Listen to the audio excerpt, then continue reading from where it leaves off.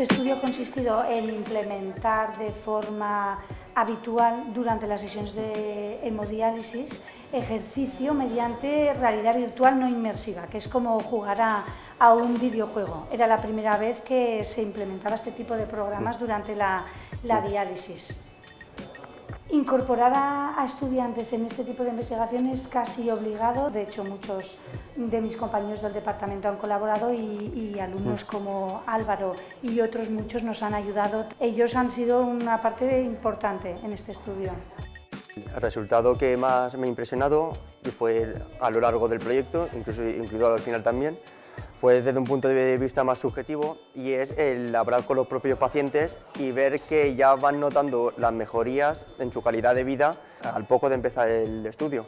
Desde ahí ya se va notando una gran mejoría en ellos y en su estado de ánimo y en la diálisis que se le hace más amena al tener unos ejercicios eh, que le fragmentan la sesión.